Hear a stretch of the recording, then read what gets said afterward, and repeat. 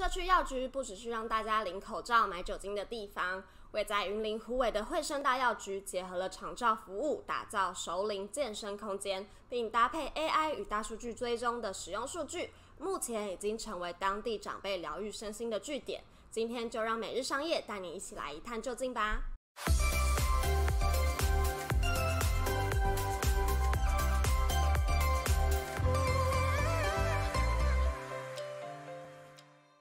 焦点观点 Plus Daily Commercial 每日商业十分钟交流一个商业观点，我是凯西。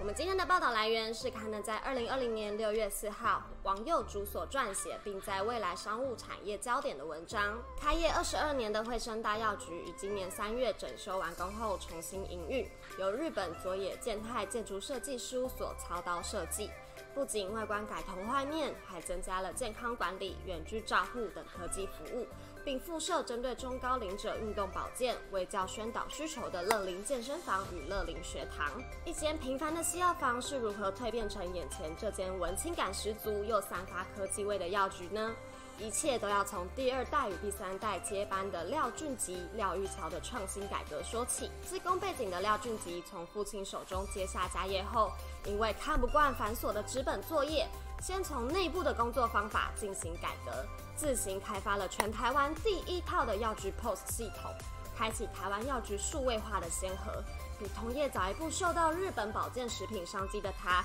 更亲自走访日本洽商，在 Fanco、DHC 等品牌都还未进口台湾的年代呢，就率先在药局贩售日系保健食品和成药。然而，廖俊吉真正感受到转型的迫切性，却是因为大型连锁卖场的出现。这些连锁体系夹带着大量进货的优势，使得原本曾是民生用品主要通路的药局顿失价格竞争力。当时药局业者面对的压力，就如同八零九零年代的干妈店碰上 Seven Eleven 一样。曾前往日本攻读生物相关科系的廖玉桥，他惊讶地发现。日本的一些长照中心仿佛是老人家的星巴克，不仅布置得像咖啡馆一般舒适，而且来复健的长辈脸上不但没有痛苦的神情，反倒充满了笑容。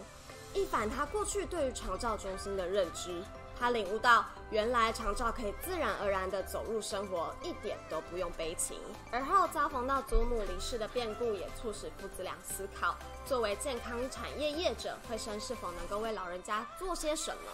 约莫五年前，他们摸索出了一个大方向，强化社区药局的定位，并推出社区长照服务。因此，惠生推出的乐龄健身房仿效日本医疗运动学界的权威小林宽道教授提出的十平健身房概念。推动以首领保健与复健为目的的功能性运动，并透过 AI 追踪成效，让家属能够透过 App 掌握家中长辈的健康状况。其实啊，像惠生这样的复合式药局，在海外已经不是特例了。如今，日本有许多的医疗业者都是靠跨领域整合存活下来。廖玉桥透露，未来最想尝试合作领域的是地方再造与大数据整合。虽然大数据目前还没有很明确的整合标的，但收集临床应用会是现阶段可先进行的前置作业。目前惠生也已经和东海大学的资管系助理教授潘仁豪合作对接临床大数据。尽管在经营上积极拥抱科技服务，廖玉潮人相信，以长照服务来说，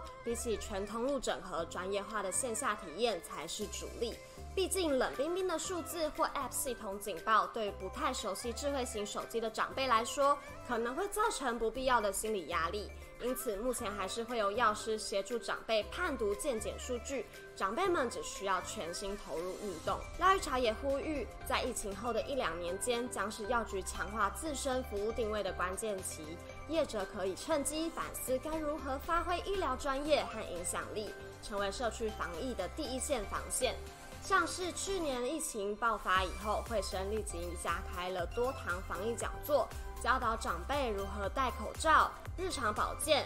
还有预防长辈因为资讯的不足而陷入恐慌或误信防疫的偏方等等情况。这样的药局连年轻人都很想要走进去。他们不为改装而改装，而是有更大的理想，要为高龄人口尽一份心力。他们重视长照整合、健康、科技、教育，让老人家安心，也让更多的家庭放心。